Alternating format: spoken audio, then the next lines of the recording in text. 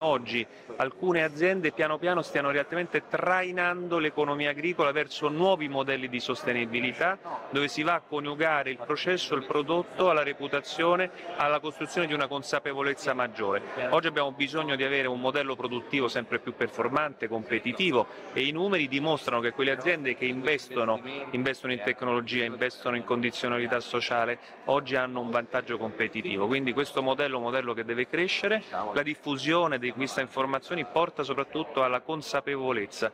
La costruzione di un modello consapevole porterà poi a un rafforzamento della reputazione del prodotto italiano. Sono state premiate due aziende del mondo del vino, parlo ovviamente delle prime tre e una del mondo del, del, del biogas.